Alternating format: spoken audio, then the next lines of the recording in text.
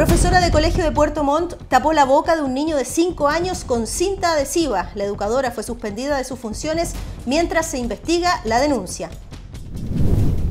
Funcionarias del Hospital Psiquiátrico de Antofagasta acusan agresiones de parte de reos que son llevados a exámenes a ese recinto. Hace una semana, una paciente denunció la violación de un interno que era custodiado por Gendarmería.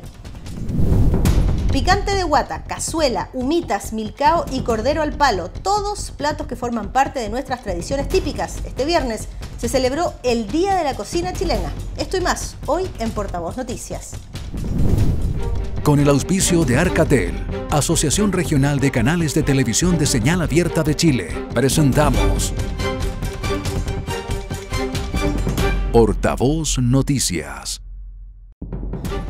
¿Qué tal? ¿Cómo están? Le damos la bienvenida a Portavoz Noticias y partimos en el sur del país. En Puerto Montt, una educadora de párvulo tapó la boca de un niño de 5 años con cinta adhesiva. Esto ocurrió en el Colegio Domingo Santa María. Fue la mamá de este niño quien presentó la denuncia luego de notar que su hijo se asustó cuando ella intentó usar una de las mismas cintas adhesivas en la casa. La educadora fue suspendida de sus funciones mientras se investiga este caso. Inet Osorno con la nota. Una investigación interna dispuso la dirección del Colegio Domingo Santa María en la ciudad de Puerto Montt, luego de que una apoderada de Kinder denunciara que la profesora del nivel le habría puesto cinta adhesiva en la boca a su hijo de cuatro años porque conversaba mucho en clases. Su hijo eh, se manifestó entre un poco asustado y, y sorprendido al ver a su madre con una cinta adhesiva en la mano y al verla le, pregunta ¿por qué, por qué me vas a hacer eso.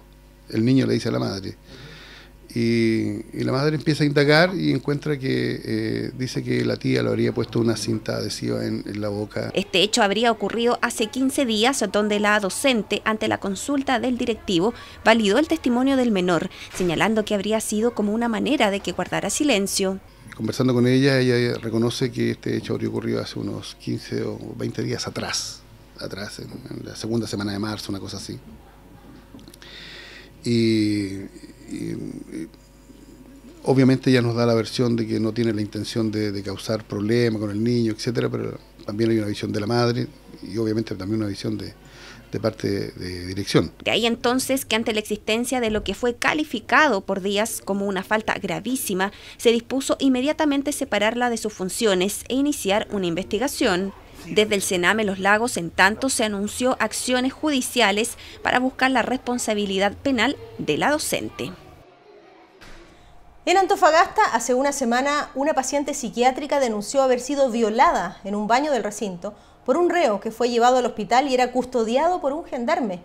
Una situación que se suma a otras denuncias de funcionarias del hospital psiquiátrico que aseguran ser víctimas de agresiones físicas de reos. Son internos que llegan a someterse a exámenes ordenados por el Servicio Médico Legal. El Ministerio Público ya inició una investigación. El informe en la nota de Antofagasta Televisión. Yo estaba en turno y viene un reo, yo estaba sentada en mi escritorio y él se sobrepasa de la estación de enfermería y me agrede por detrás de la cabeza.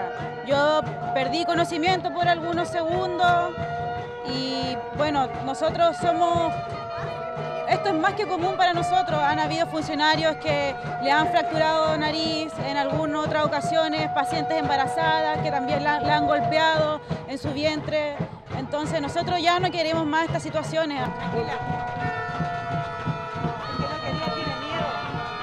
Testimonios como este dan cuenta de la realidad que día a día viven aquí los funcionarios del Servicio de Psiquiatría del Hospital Regional de Antofagasta, que la mañana de este miércoles dieron inicio a un paro de carácter indefinido manifestación que obedece a la presencia en estas instalaciones de imputados de alta peligrosidad, los cuales denuncian atentan permanentemente contra la integridad de pacientes y funcionarios, a pesar de contar estos con la custodia de Gendarmería. Pero aunque dicha situación se arrastra por años, la violación a una paciente por parte de un imputado la semana pasada fue literalmente la gota que derramó el vaso en un servicio integrado mayoritariamente por mujeres. Por eso, enviaron una carta a la ministra de Salud denunciando 19 irregularidades. Es gravísimo haber, haber habido una violación dentro del recinto. ¿Eso cuándo fue? el jueves 7 de abril. Se denunció. Sí, tres gendarmes armados estaban ahí, estaban ahí ellos sabiendo lo que estaba pasando adentro, fueron cómplices de este hecho. ¿ya? Una, una paciente con un diagnóstico de psicosis que no está mal, o sea, eso no se puede permitir. Nosotros eh, estamos preocupados fundamentalmente por la eh, condición física que, eh, y, psicológica también de quienes aquí trabajan. Y a mí lo que me parece todavía más doloroso es que, eh, como lo señala la, denuncia del director del hospital a tribunales, se produzca una violación habiendo custodio de por medio. Pero la presencia de imputados durante meses en una unidad de corta estadía no es lo único que denuncian.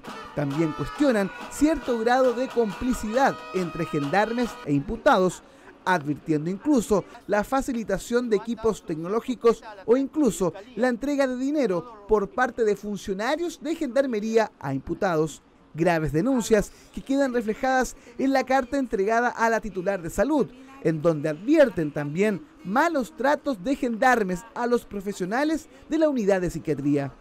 No tienen el respeto que corresponden hacia los funcionarios y la protección que deben dar al, funcionario, porque el imputado se pone atrevido, falto de respeto con el, con el, funcionario y el gendarme callado cuando él tiene este rato, eh, tiene la, la, facultad, la facultad de decir, y los gendarmes también también porque muchas veces acostado en la cama los pacientes, con las pies sobre los veladores. Denuncias que se suman a mejoras laborales y a la urgencia de sumar más profesionales al servicio, el cual indican actualmente presenta un déficit de funcionarios. Asimismo, solicitan a la autoridad reconocer a psiquiatría como una unidad crítica dentro del hospital regional, mientras esperan una respuesta formal a una situación que estiman superó todo lo aceptable. En forma unánime, la Cámara de Diputados aprobó esta semana el proyecto de ley que penaliza el acoso callejero. Si esta iniciativa es aprobada también en el Senado, los agarrones, los gestos obscenos y comentarios sexuales ofensivos van a significar multas y penas de cárcel. ¿Cómo toman esta medida las mujeres de nuestro país? BTV2 nos cuenta. La Cámara de Diputados aprobó esta semana de forma unánime el proyecto que sanciona el acoso callejero, pero la iniciativa tiene que pasar aún por un segundo trámite en el Senado para que el proyecto sea aprobado en su totalidad. El proyecto estipula que un acto sexual es cuando en lugares públicos una persona es víctima de un acto que le genera una sensación de intimidación, humillación, hostilidad o ambiente ofensivo.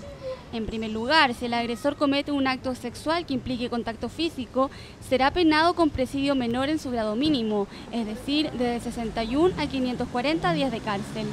En caso de que los actos de hostigamiento sean de carácter verbal o se ejecuten por medio de gestos, se impondrá la pena de multa equivalente a una unidad tributaria mensual, sin embargo, cuando el hostigamiento es realizado a través de conductas físicas, tales como abordajes o persecuciones intimidantes, o bien por medio de actos de exhibicionismo obscenos o de contenido sexual explícito, se tendrá una multa de entre 10 a 20 unidades tributarias mensuales. Conversamos con las sanfelipeñas, quienes a pesar de decir que estos actos no son tan recurrentes en la zona, celebraron que al fin existirá un proyecto que les otorgue seguridad mientras andan por la vía pública bien porque se pasarían los abusos, bajaría todo y las, las, mujeres nos sentiríamos más seguras también. Excelente, me parece muy bien, pues porque así ya ellas tendrán, pues van a estar más tranquilas y habrá más respeto, ¿no? ¿Cuál ha sido tu experiencia en cuanto a que te griten cosas en la calle? Me da mal genio, no sé, les grito. Sin embargo, los hombres de San Felipe también estuvieron de acuerdo con los planteamientos de este proyecto, ya que según ellos hay quienes se aprovechan del piropo para llevar a cabo actos de connotación sexual. Yo pienso que sí, porque hay gente que es muy, muy ordinaria. Eh, algo bonito, no sé, no, pienso que como mujer no se sentirían mal, pero hay cosas que realmente son feas. Entonces no, pienso que sí, está bien. muy bueno, porque muchos hombres se pasan de la raya. Claro, está bueno, está bueno. Opinión unánime en la comuna de San Felipe. Todos y todas piden respeto callejero. Ahora la iniciativa entrará en segundo trámite al Senado. Según cifras de UNICEF, Chile es el país con peor desempeño en educación de la OCDE. El estudio Más Igualdad para los Niños, presentado en París, afirma que el 25% de los estudiantes de 15 años no puede resolver ejercicios básicos de lectura, matemáticas y ciencias. Chile queda en una situación similar a países como México, Bulgaria y Rumania, lo que fue calificado por UNICEF como alarmante. Con esta información nos vamos a una pausa y ya volvemos a Noticias. A B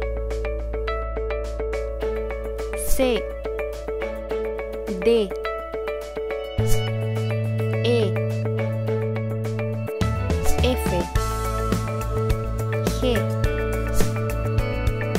H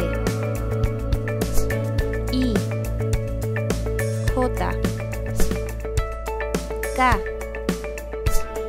L M N Ñ Portavoz Noticias Inclusivo. ¿Y tú qué necesitas para estar saludable? Yo necesito fortalecer mis defensas. Yo también. Y además necesito reforzar mi energía. Yo también. Pero además de defensa y energía, los hombres necesitamos más vitaminas del complejo B y magnesio para ayudar a nuestros músculos. Y las mujeres más hierro y ácido fólico, además de calcio para fortalecer los huesos. Por eso tomamos los nuevos Centrum Hombre y Centrum Mujer, con niveles personalizados de vitaminas y minerales para satisfacer mis necesidades. Y las mías. Prueba Centrum Hombre. Y Centrum Mujer. Centrum, el multivitamínico número uno en el mundo.